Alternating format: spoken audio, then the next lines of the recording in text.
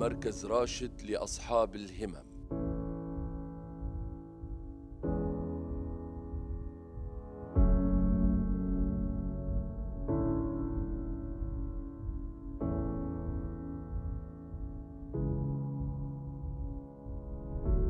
انطلق راشد لأصحاب الهمم في العام 1994 بحلم صغير راود ضمائر المؤسسين له فعقدوا العزم وأخلصوا النية.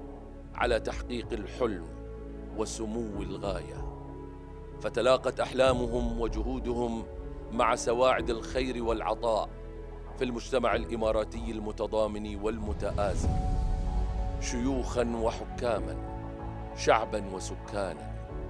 وتوالت الإنجازات وتعالت التطلعات وتواصلت الخطوات. حتى بات مركز راشد لأصحاب الهمم من بيوت الخبرة في المنطقة العربية في مجال تعليم وتدريب وتأهيل وتوظيف ودمج أصحاب الهمم الذين انتصرت لهم القيادة الرشيدة أكثر من ألف مرة.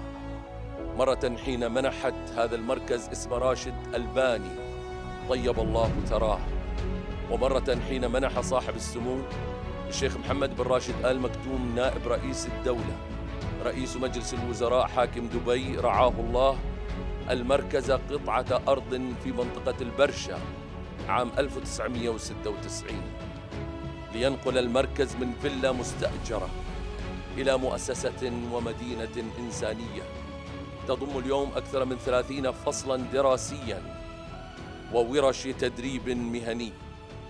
وليقدم خدماته الإنسانية المتطورة إلى نحو 300 طالب وطالبة. يقوم على خدمتهم كادر أكاديمي وإداري ولوجستي. قوامه نحو 135 موظفا.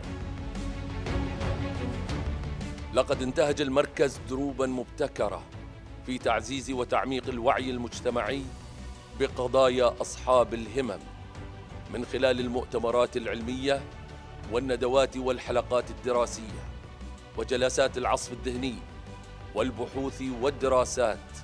وبراءات الاختراع وأطلق المركز جوائزه الرفيعة وفي مقدمتها جائزة الشيخ راشد للشخصية الإنسانية التي فاز بها كوكبة من الشخصيات الوطنية والخليجية والعربية رفيعة القامة والهامة. وجائزة الشيخ راشد للدراسات الإنسانية وأبدع المركز في توظيف نجومية الشخصيات العامة من مبدعين وكتاب وفنانين وأدباء ورياضيين وتشكيليين وكل قطاعات المجتمع من أجل وقف تهميش أصحاب الهمم بما ينسجم واستراتيجية الدولة وقيادتها الرشيدة في تمكين ودمج هذه الفئة في المجتمع بكل كفاءة واقتدار.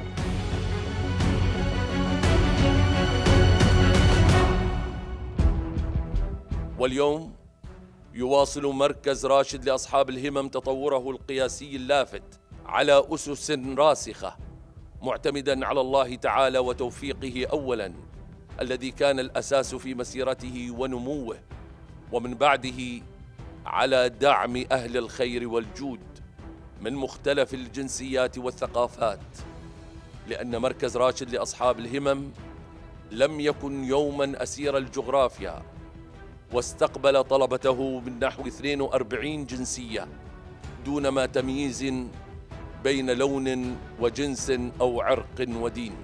وشارك مركز راشد لأصحاب الهمم في فعاليات وتظاهرات عربية وعالمية. وكان سفيرا لأصحاب الهمم في العديد من المدن والعواصم. وطاف طلبته أكثر من مرة البيت العتيق.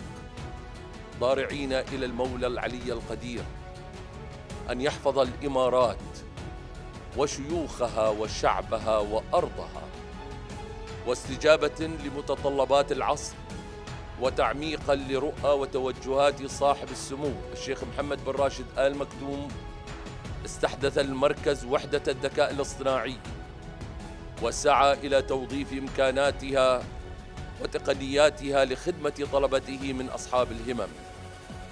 وكذلك أنشأ المركز ورشات مهنية جديدة كالطباعة والحياكة لتسهم إلى جانب ورش الزراعة العضوية والنجارة في تأهيل الطلبة وتهيئتهم إلى سوق العمل.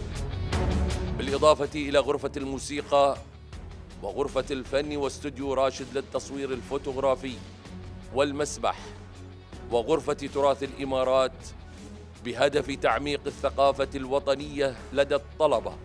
كما نجح المركز في تأسيس فرقة نجوم راشد المسرحية التي قدمت عروضها داخل وخارج الدولة ونالت الإعجاب والإشادة من الضيوف والمختصين. وأسهم سوق راشد في تعريف الجمهور بإبداعات طلبة راشد ومهاراتهم. هذه حكاية راشد. بذرة خير في أرض الخير. أنبتت سبع سنابل في كل سنبلة ماءة حب